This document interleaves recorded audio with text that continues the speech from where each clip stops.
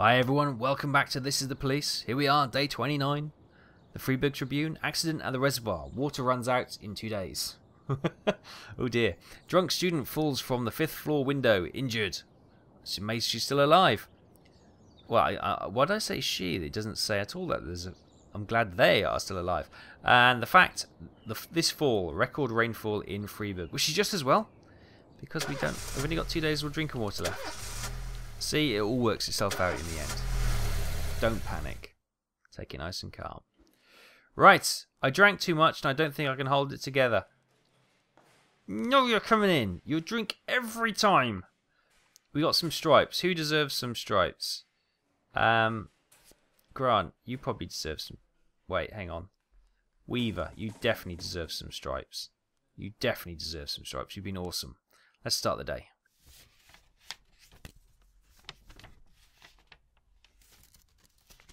You know when a police chief really feels his power? When he hires and fires people? When he throws folks in jail? When he's bossing everyone around all morning? No, there's no power there. Just bureaucratic red tape. Like directing traffic. Not that it's all bad. No, I feel it the most when people come to me with accusations. Accusations happen outside the law. They don't need to be rational or supported by evidence. They don't petition justice in the careful words of legal formality. No, an accusation is a personal cry, full of resentment or envy, a defeated moan, or an angry howl. The accuser rarely imagines you'll share their resentment, their envy, their hatred. No, but they do imagine that your love of power is so strong that you'll leap to decide the fates of others, happy just to take someone's word for the facts. Businessmen accuse the gangsters, the gangsters blame our public figures, public figures denounce politicians, the politicians point to the businessmen. When it comes to accusation, there's only one rule. Don't aim too high. If you overestimate your own importance, then complaining can cost you your life. So choose the easier path. Exaggerate as far as you can and try to make your plea sound as sad and pathetic as possible. There we go, some life tips for everyone there. The accusation I received today sure didn't fit the normal mold. After killing Vicus Varga and routing his supporters, Sand further strengthened his already powerful authority. Even a month ago, anyone coming out against Sand would sound like a lunatic with a death wish. Today, it's the same thing as suicide. But the letter I'm holding in my hands directly connects Henry Sand, lieutenant of the Sand Mafia family, to the reported death of successful banker John Pazzi. Henry has a daughter, Marianne, a dancer, and apparently it all started with her. One day, Marianne danced in the title role of a production of Giselle, and Henry, proud father that he is, brought the whole family to the premiere, along with some of the family's business partners. Among their guests was the young banker John Pazzi. He couldn't keep his eyes off Marianne, but she ended up brushing him off. In response, Pazzi ambushed her one night after rehearsal, pulled her into his limousine, and had his way with the poor girl. After that, gentleman that he was, he drove the girl home and threatened that if she told anyone what happened, her mother would get the same treatment. But her father still managed to shake the truth out of Marianne, and he decided to take his revenge. Of course, Henry Uh, knew he couldn't just go with his instincts and put a I'm on the father's side here, I must admit. The rich bastard was too important for business, and Henry is neck deep in the family business, overseeing transportations for the Sand Mafia. He knew about every delivery delay, every car, and every shop. It was mostly thanks to Henry that the whole sand operation rolls so smoothly. Henry has free access to all their off-book cars, and a tar black motive. Yeah, he could easily arrange the death of John Pazzi as a drunken, late-night hit-and-run. But Henry Sand is smarter than that. If this story Oh. about Pazzi is true, he'd more likely go to the boss and ask permission. Well, you know, I'd I'm on his side. This letter the ramblings of As a I said. retired gangster looking to spice up his life with little excitement. The way the letter started, my dear little old cupcake. I had every mind to toss it in the trash. But something else got my attention. They're rarely ever signed. But this one ended Ooh, Robespierre. Robespierre. And I doubt it's an impostor. No one would go against the most powerful group in the city, hoping to hide behind the name of some prankster clown. Ooh. Like everyone else, I had obviously no the next storyline, Robespierre. or what he wanted. But there was no doubt that this guy was more than a little crazy. An arrogant psychopath. Could be dangerous. Definitely worth looking into. Indeedy. Okay. They are good, but they do go on a bit. Right, let's get this day started a proper. We've already got the hit and run. Okay, oh, this is the case, right. We've got no... Honestly, who do we got in today? Who who do we have in? Is any- uh Weaver? You you're in today, aren't you? Uh, detectives. Let's pull Weaver off the case. Let's pull Johnson off the case as well. Uh, hit and run. Let's put Weaver. You're in charge. Take Johnson with you. Go. Uh, the snitch. Uh, you've paid your snitch a weekly fee of 500. Oh, okay. We might have to bunker off. I didn't realize it was 500 every week. Um, robbery. Three armed robbers wearing masks entered the bank and demanded the manager open the safe. Pong. Take Beard. Take Smith. Uh, take the SWAT team, actually.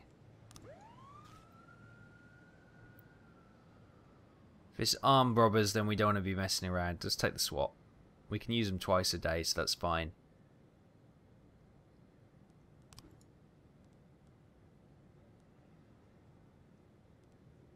Ooh, so tempting. Ah, here we go. So this is the hit and run. This is the uh, the banker.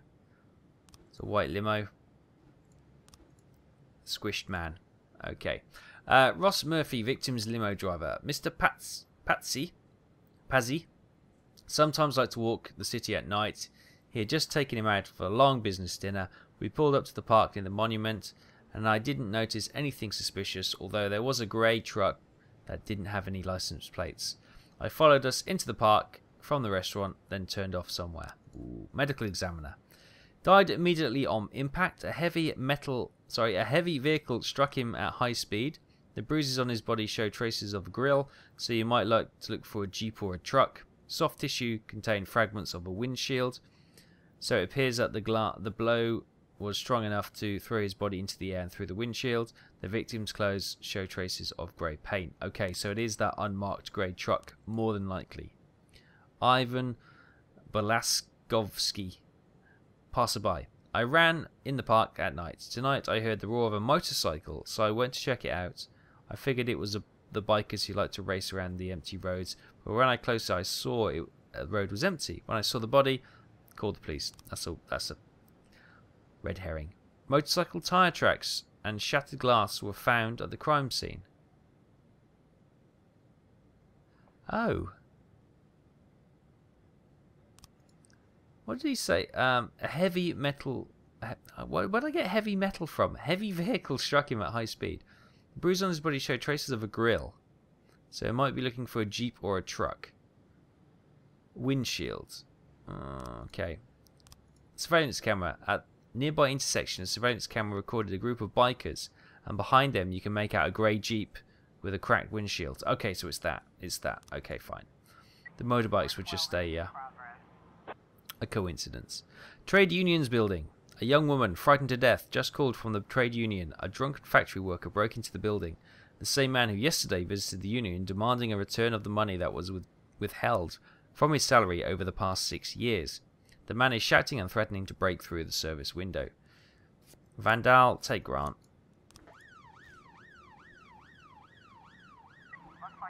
Ah, here we go. The bank robbery. The bank is located in the city centre where there's lots of traffic and civilians. Block the exit to the bank with the police cruiser. Uh, sneak up the front window and peek inside. Take up a comfortable firing position at the main exit. Let's um, block the exit with the... Yeah, block the exit. Okay, the woman's shouts can be heard from inside the bank. Get on the bullhorn. Attention, you are surrounded. Wait until the robbers exit. Storm the building. Let's wait until... Let's call them out. Offenders caught, officers unharmed, civilians unharmed. Good job, everyone. Good job. I knew Pong in charge with Beard. Never going to be a failure, was it? Never going to be a failure. Okay, here we go. Armed robbery. Oh, trade union buildings just kicked off. The situation is more serious than we thought. Okay, you can have Kojak, and that's all I've got. I'm going to have to wait for the guys to come back now. How long? we got another day before we can make a request.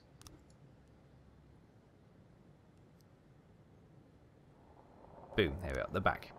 Armed robbery. We've just received an alert from the jewelry store. Six armed men wearing masks entered the premises, demanding all the cash jewelry placed into the garbage bags. What SWAT, you're coming out again. And we'll send out the dream team once more.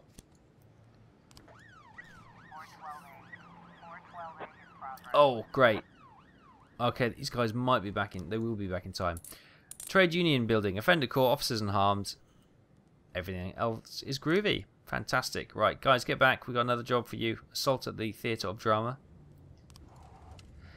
During the production of My Sweet Juliet, the Zombie, actors in the performance were um, buffeted by flying eggs thrown by someone in the audience. The assault was accompanied by shouts, Shame! Necrophilia! Shame! Ding! Shame! Ding! It's all Game of Thrones all over again. How dare you mock such a classic? According to the elderly theatre guard, the eggs were thrown by ten, ten young girls all dressed in white. Okay, we'll send the paddy wagon then. Grant, take Vandal. Goodness me.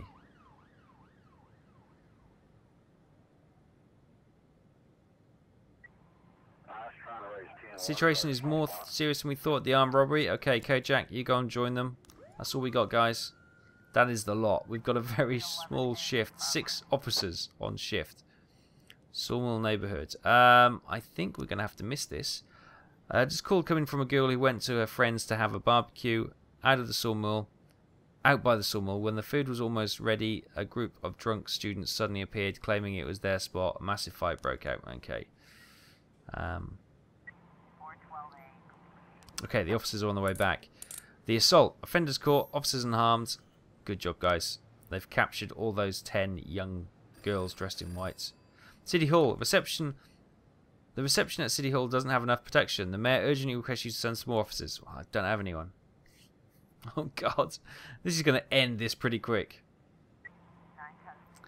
City Hall hate us. Right, armed robbery. Pong, Beard, Smith, Kojak, SWAT. Good job all round, guys. Fantastic. Oh, Vandal and Grun might be back. They will be back in time. Come on, guys. Yes. Okay, so this is the massive fight. So we'll send the paddy wagon again. Randall and Grant, you get out there. Uh, we've got the rest of the guys coming back should you need reinforcements. Goodness me, we are struggling with this tight shift. Oh, this is the Theatre of Drama. Three arm. Hang on. This is just where they were doing the My Juliet zombie with the girls. Three armed thugs managed to rob the audience of the playhouse. Before the ci civilians realised what was happening, the criminals had already fled the scene. Until the last minute, everyone thought it was just all part of the show. The cloakroom attendant says the robbers left in a yellow school bus. What is going on? Pong, take beard. Um, yeah something really weird is going on. Is this all Robespierre's work, maybe? He's a jokester, isn't he? The fight. Vandal, Grant, Paddy Wagon, good job, good job. Cracking job, well done. Okay, we got the gas station homicide. An eyewitness reported that a man drove up to the gas station, got out, and shot the guy behind the counter with an automatic rifle. And now he's just standing there quietly, filling a filling up his gas tank. The dude is crazy. Right, Kojak, take Smith. Uh, hang on a minute. We'll wait till the other guys are coming back. You may need a little bit of backup. uh, even late at night, finding the right bus wasn't too difficult. The criminals abandoned it less than a mile from the sub. Okay, let's search the bus. The motel man the motel manager reports three men threatened me with a gun and said we had no more rooms. I put them in the room we already rented, but they won't be happy when the guests return. Try to trick the gunman. Who's in there? You're in our room. Knock on the door. Open up police. Order the civilians to return to their rooms and lock the doors and begin the assault. Um.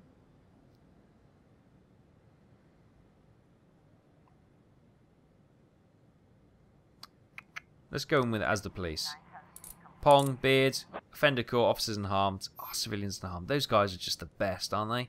These two, this is Dream Team, Pong and Beard. Pong Beard, the spectacles. The spectacle to the bispecular. So I'm trying to think of something. Can't think of a team name. Doesn't work, does it? Okay, hang on. Vandal and Grant and Paddy Wagon are back. Right. Kojak, Vandal, Grant.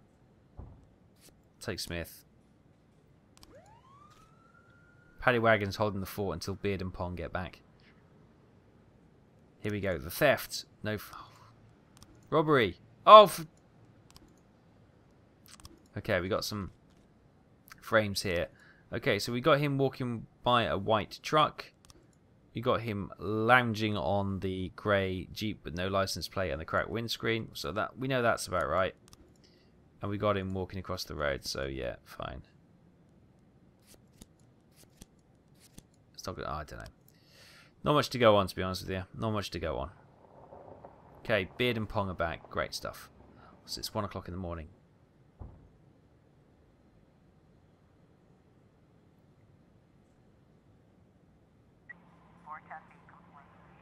Homicide report. Kojak, Vandal, Grant, Smith. Good job, guys. Oh, automatic weapons found. Uh, we'll bring those back to police station, please. Okay, that is the end of the shift. Thank goodness for that. What a day. What a tough day indeed. That's been harsh. Well, we'll leave it there, guys. Not a very productive day, but um, a tough one, especially with that shortened shift. But we do get to make a request next time to City Hall, who will probably ignore it because we didn't send security to their desk. I'll leave it there, guys. Thanks for watching. Hope you continue to enjoy this. If you are, hit that thumbs up and share it with all your friends. And join me next time for the next exciting episode of This is the Police.